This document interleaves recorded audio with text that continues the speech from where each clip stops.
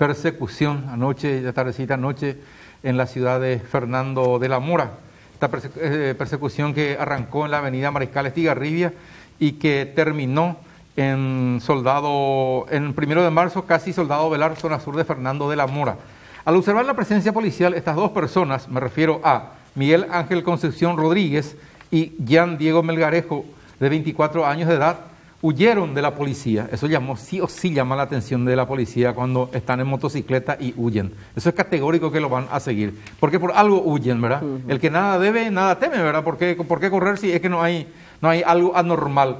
Y en este caso, unos, una buena cantidad de distancia, al menos la persecución, y finalmente pudieron eh, reducir a estas personas y había sido Jan Diego Melgarejo, tiene antecedentes penales por robo agravado, hurto agravado y con orden de captura por homicidio.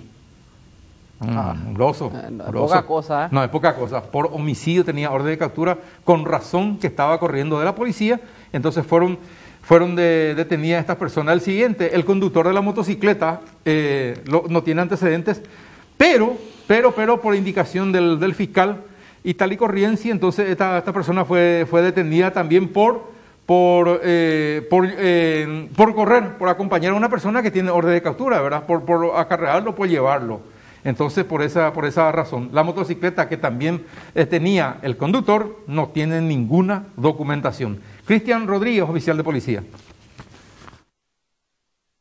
Al dar la orden de pare a dichas personas, estos hicieron caso omiso a la, a la orden, donde se inició una persecución desde el supermercado Guaraní, sitio de las calles Sabalascue y Mariscal Estigarribia, en, dándose esa persecución hasta las calles en Pitentuta y eh, Ruta Mariscal Estigarribia, más o menos inmediaciones Salema Supercenter.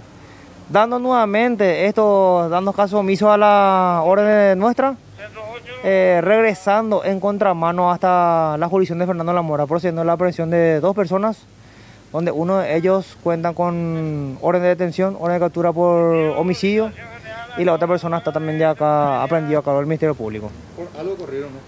Asimismo es eh, la persona que se encontraba al mando de dicho biciclo, se encontraba haciendo documentos, en registro de conducir, documento de biciclo, como así por orden del fiscal queda aprendida por frustración a la persecución penal.